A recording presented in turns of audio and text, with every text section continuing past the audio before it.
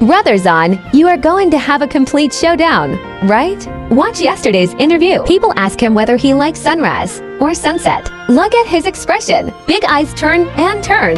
What are you thinking about again? 日落，因为会觉得日落会有它独有的凄美感。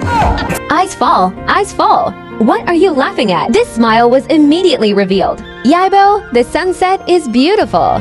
Excuse me, those of you watching the sunset, do you know anything? Ask him this question every time. 喜欢看日落，对日落啊？为什么呢？就是喜欢。and the little expression here are so cute to me. 二零二四年健健康康。my brother's new drama is finally about to start filming. Saw this heroine who is envious. Bo Xiao is such a circle.